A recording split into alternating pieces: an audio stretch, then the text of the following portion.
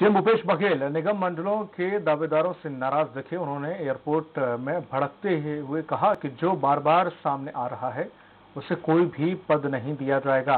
CM ने आगे कहा है कि जो सूची वायरल हो रही है, वो पूरी तरह से फर्जी है। उन्होंने कहा है कि निगम मंडल के लिए दिल्ली में कोई चर्चा नहीं होगी। मुलाकात नहीं है भाई। मैं आउटलुक में जो कुपोषण पे चर्चा रखे हैं उसके मुख्य सचिवों भी मैं जा रहा हूँ।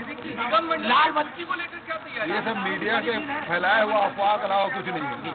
वो तो पार्टी के साथ हम बैठ के सब तय करेंगे अध्यक्ष अभी नया बने हैं पूरे प्रदेश के दौरे में वो निकले हुए हैं।